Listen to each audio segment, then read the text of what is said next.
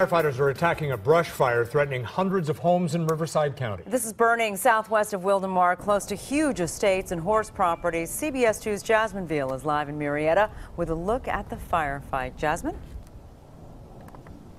Well, Sharon, you can see it's a race against the winds right now. It's getting breezy out here. 700 acres burned so far, 200 homes under these mandatory evacuations like the one you see right behind me being protected by these firefighters. And right above this ranch home, that line of pink fire retardant to keep the fire from burning any further down the ridge.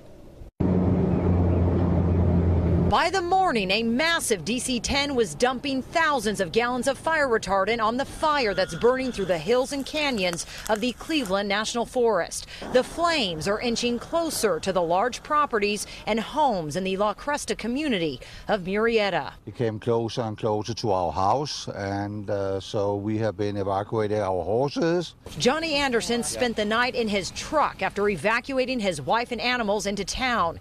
He took this video of the fire yesterday afternoon, and by 10:30 last night, it was too close, and he had to leave. To my house, it was four, five hundred yards. One after another, helicopters and small planes made dozens of water and retardant drops on the fire that has now burned hundreds of acres.